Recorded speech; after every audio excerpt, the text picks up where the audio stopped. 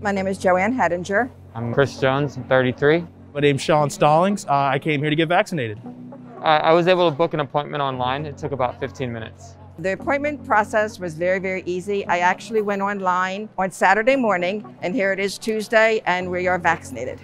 Here at the Baltimore Convention Center Field Hospital, we have four lines of effort. We take care of subacute inpatient care. We do walk-in testing. We do infusions of the monoclonal antibodies. And we also provide vaccinations for the citizens of Maryland and the residents of Baltimore City. If we're running a full day of operations, we can see roughly 3,500 patients at the vaccination site. Equitable access to vaccines is so important um, because everyone deserves to be healthy. Hopkins is involved because it's one of our core missions to support the communities uh, and the people that we serve. When we began mass vaccination, given a relatively central location, we wanted this to be the place where people from the city could come.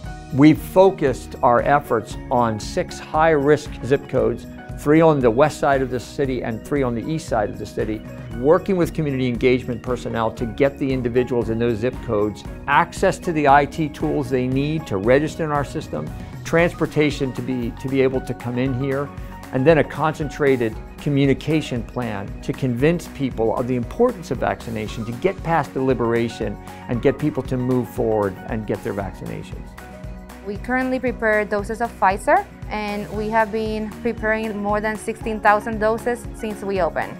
Looking back to where we started, it's just amazing everything that we have been able to accomplish.